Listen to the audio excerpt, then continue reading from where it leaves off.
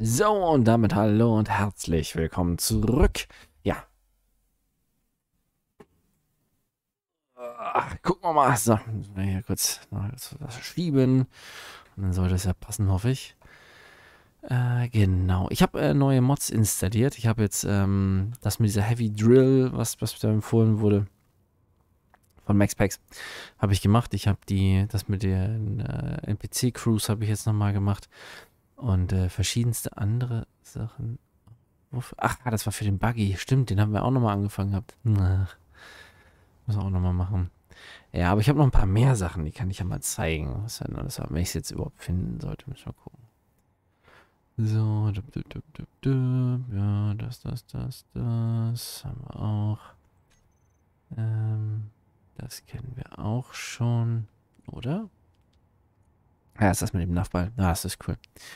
Mega cool. Mega, mega, mega cool. Dann habe ich das mit den ähm, erweiterten Frachtblöcken. Die müssten ja auch irgendwo rumschwimmen, die halt länger sind. Das ist äh, auch dabei. Äh, was ist das? Curve Dingsbums, Dark Mechanicus. Äh, dup, dup, dup. Energiewaffen. Das ist das hier mit Imperial, genau. Diese Imperial-Dinger. Bin mal gespannt, wie die dann so sind.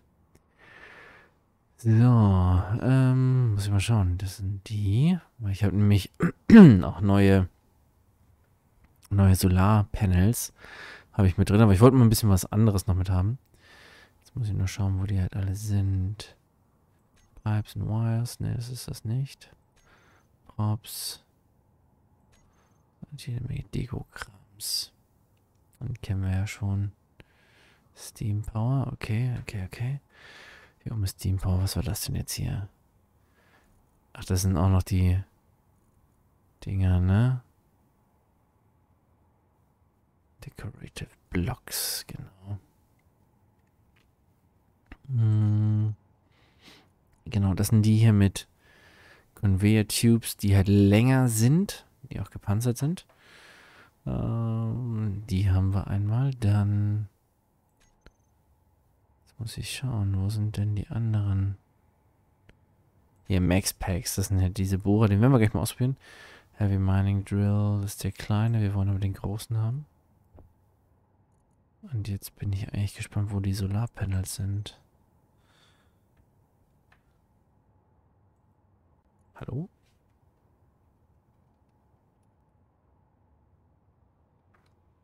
Naja, hier. Genau. Da wir nämlich einmal die, also hier Gold gibt es die und dann gibt es die halt so. Entsprechend, ne? Corner, hier die. Es. Die gibt es dann entsprechend. Und jetzt muss ich nur schauen, wo ist das denn? Nee.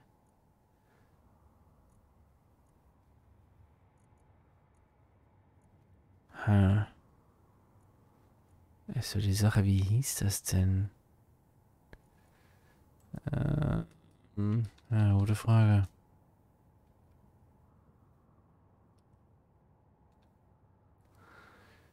Nee, da sieht das nicht mit aus, ob es dabei wäre. Ich habe nämlich eigentlich so eine Box mit einem ausklappbaren Solarpanel. Habe ich das noch offen? Ja, wahrscheinlich nicht, ne? Wahrscheinlich nicht. Warte mal, ich gucke mal ganz kurz. Das interessiert mich nämlich jetzt. Jetzt muss ich mich gucken, wie hieß das Ding. Weil es, das ist manchmal so ein bisschen nervig. Hm. Dass man das, was man eigentlich sucht, nicht so richtig findet. Genau, Workshop. Dann kann man ja sich zumindest seine Abonnierten Sachen anzeigen lassen. Ihre Abonnierten. Ja. Nicht das zuletzt angesehene. So, abonnierten Objekte. Da genau der Gravel Stifter und Solar Panels in a Box. Mhm.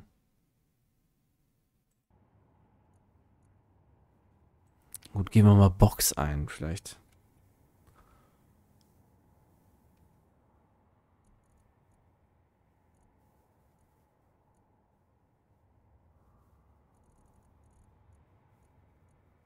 Ist das nicht in der Gravel-Stifter? Haben wir den denn hier irgendwo?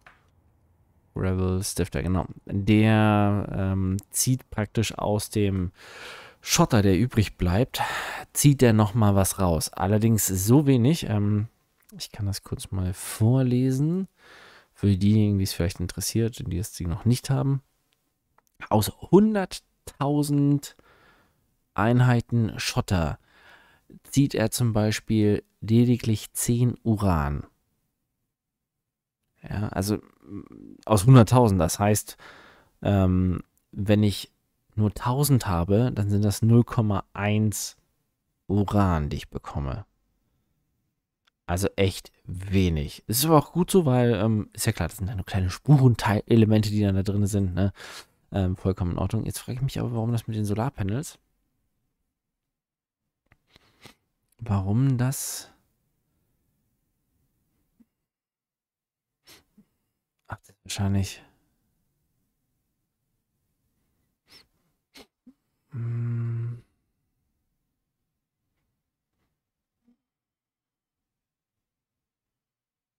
So, das ist ein fertiges Teil, das ist ein Blueprint, das ist gar nichts. Achso, das ist nur eine Blueprint gewesen, das eine.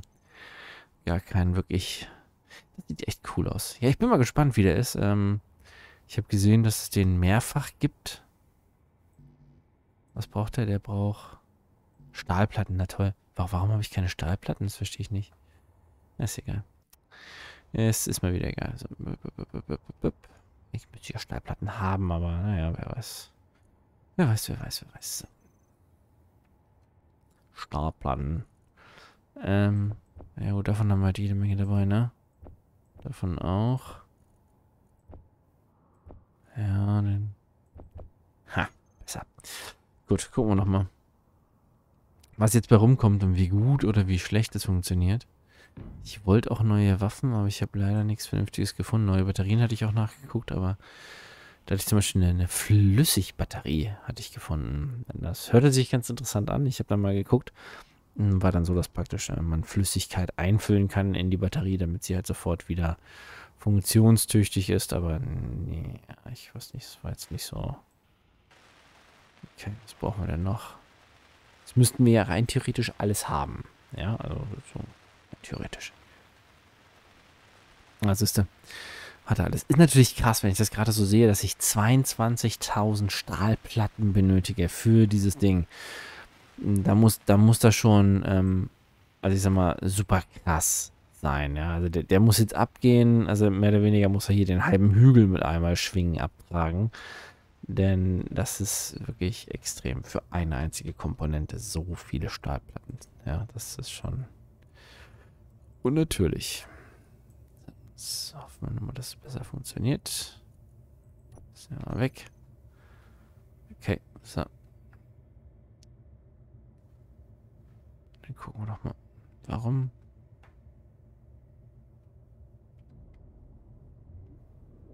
So. Dürfen wir jetzt gespannt sein. Das funktioniert oder nicht. Ich muss das hier mal raus. Dann gucken wir mal. Ich mache es mal hier mit rechter Maustaste, ne? Entsprechend, um zu gucken. Oh, warte, warte, warte. Machen wir mal linke Maustaste. Tut sich da überhaupt was?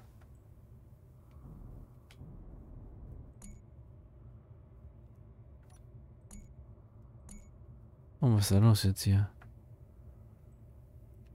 So. Machen wir linke Maustaste hier erstmal. Okay, das funktioniert.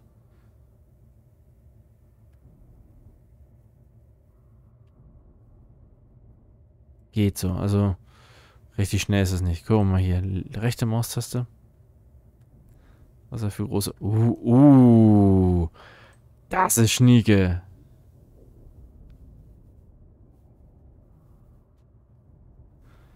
Das gefällt mir. Da kann ich natürlich jetzt richtig schnell mit. Also gut, er macht Zeitkreis rund. Und das ist in Ordnung. Ne, wenn man weiß wie. Wahrscheinlich schrotten wir jetzt gerade das Spiel, weil es einfach total überfordert ist, dass so viele Sachen auf einmal entsprechend entfernt werden.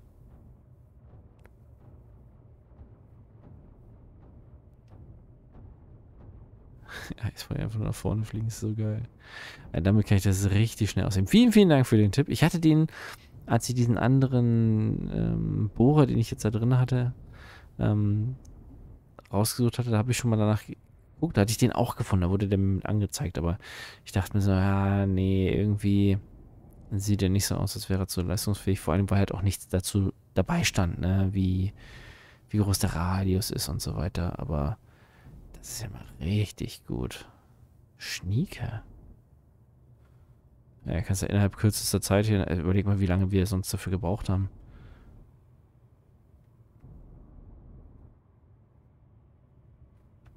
Gut, okay, jetzt ist es halt nicht gerade da hinten, aber wir ziehen einfach mal hier rüber. Das ist halt ein bisschen größer da hinten an einer Stelle, was soll's.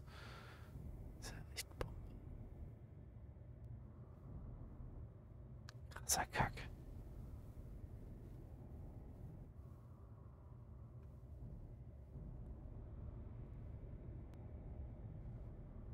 Tja, bis sagen, gehen wir mal nach unten, ne?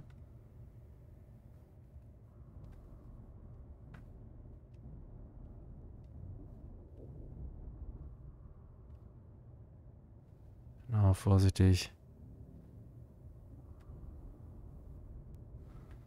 Sehr geil. Wenn wir jetzt nach rechts gehen, wie weit nach oben geht das dann? Ah, okay. Müsste ja so aber passen, ne? Ja.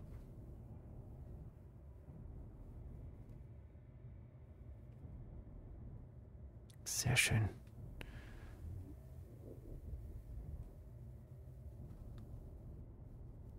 Genau. Das ist ja genial. Innerhalb von, von ein paar Minuten, das mehr ist es ja wirklich nicht, aber praktisch eine Arbeit von zig Folgen. ich, also ich, ich betone das gerade so, weil ich halt einfach total happy bin über dieses Teil. Ja. Das macht es unheimlich, unheimlich vielfach leichter, oder mein Vielfaches leichter jetzt, hier voranzukommen vernünftig. Das freut mich einfach. Ja, das ist schön. Gut, klar, wenn man halt feine Nuancen ausheben möchte, dann braucht man definitiv den anderen. Hiermit wird man da, glaube ich, nicht glücklich, weil der einfach halt zu grob schlechtig dann ist. Aufgrund der, der schieren Menge, die er hier aushebt. Aber das ist ja egal.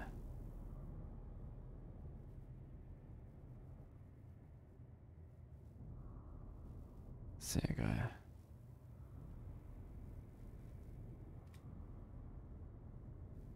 Genau, jetzt gehen wir noch nach unten.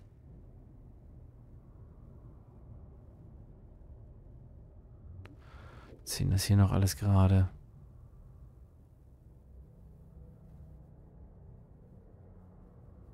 Sehr schön.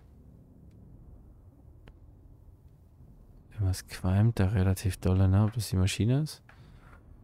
Muss ja praktisch. Oh, oh, oh, oh. Nicht gut, nicht gut, nicht gut. Ja, das Bremsverhalten ist halt ein bisschen kacke, aber egal.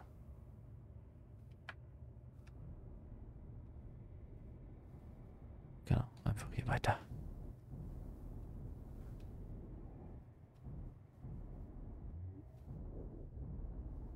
Perfekt.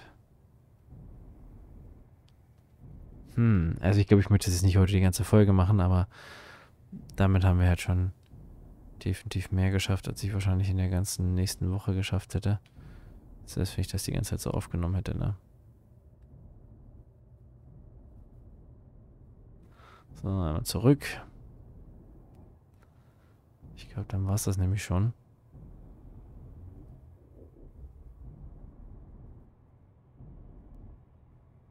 Wir müssen nur ein Stück tiefer ausheben.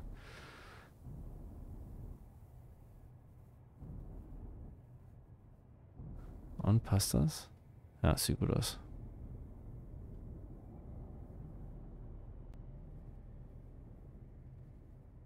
Hm. ja, das hier mächtig hoch, ne? Vergleicht sich mit anderen Krams.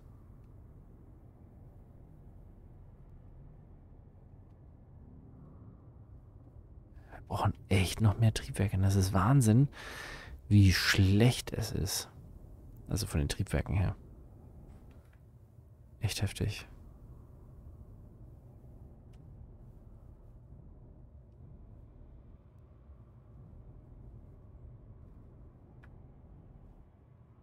Na, schwebt immer noch da oben rum, ne? Das macht gar nichts. Hm.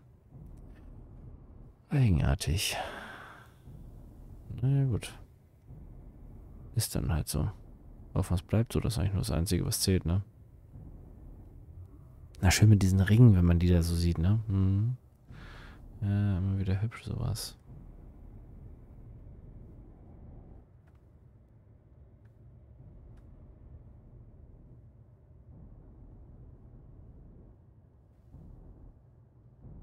Dum, dum, dum, dum.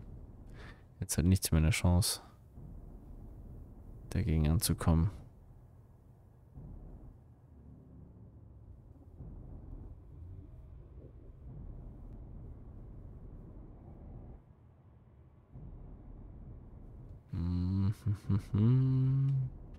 Ja.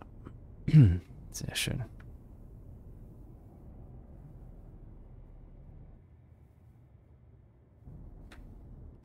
Müssen wir vorsichtig sein, müssen wir mal so ein bisschen links und rechts nochmal lang fliegen. Diese einzelnen Elemente da halt wegnehmen. Genau. Wir sehen, dass noch relativ viel halt übrig geblieben.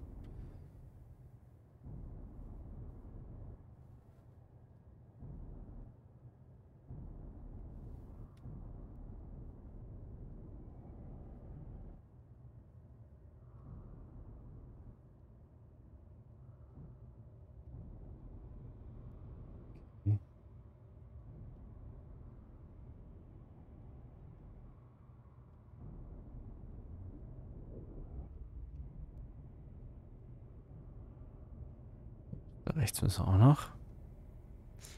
Sieht natürlich ein bisschen komisch aus, aber hm, egal.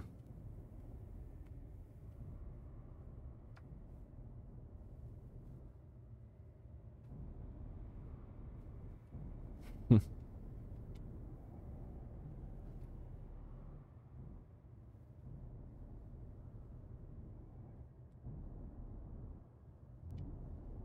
Dann du mal hier schnell das weg was da noch so rumkreucht.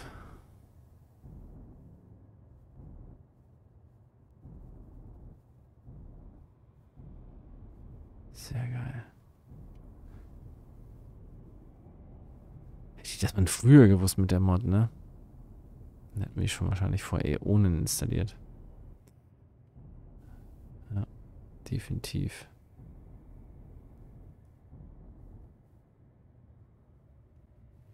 Müssen wir einmal kurz hier das dazu schalten. Sonst mal hier ganz komische Flugmanöver. Das ist schon eigenartig.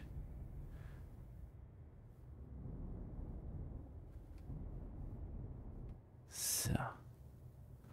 Ups.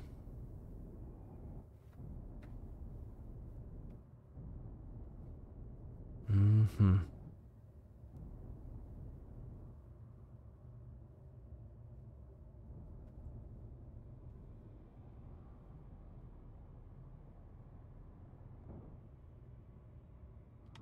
Na komm, los. Du schaffst das. Den letzten Rest noch. Das, das, das, das, das. das. Ich frage mich, warum er jetzt so mega schwer ist, ne? Also so viel Gewicht hat er. War ja doch, hat schon einiges dazugelegt hier noch. Hm.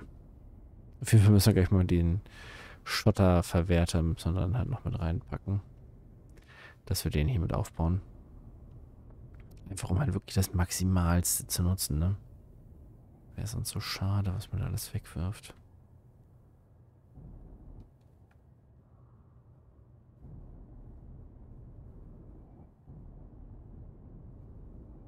Dann fliegen wir hier noch rüber. Genau. Und dann ein bisschen Gas geben. Genau. Wir können das ja eh noch anpassen. Wenn wir da irgendwas sehen. Wie hier zum Beispiel hier nach hier rechts. Das muss auch noch mit weg.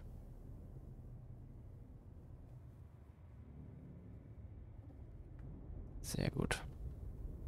Tja, und wenn wir das jetzt sehen, dann haben wir die Grube eigentlich, bis auf so ein paar kleine Feinheiten, fertig. Tja. Gelobt sei der neue Bohrer. Ja, Wahnsinn. Natürlich ist es noch interessant zu wissen, wie viel konnte er eben durch diesen kleinen Bohrungsintervall, wo wir wirklich am Anfang nur so ein bisschen mit, dem, mit der linken Maustaste gebohrt haben, wie viel konnte er dabei mitnehmen? Und das können wir mal nachschauen.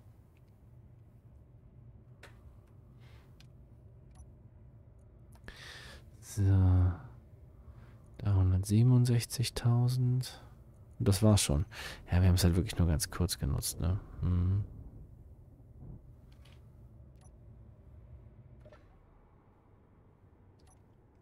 Muss das Signal deaktivieren, vorsichtshalber. Ja, nicht, dass einer der neuen Fraktionen hier dann aufschlägt und der Meinung ist, uh, da müssen wir das mal dazwischen hauen, ne? Kann ja auch mal sein. Hm. Ich habe kein gutes Gefühl dabei, aber naja. Will mal sehen, was bei rauskommt. Ich bedanke mich auf jeden Fall fürs dabei gewesen sein. Wir sehen uns beim nächsten Mal. Bis dahin, euer Mr. Zocker.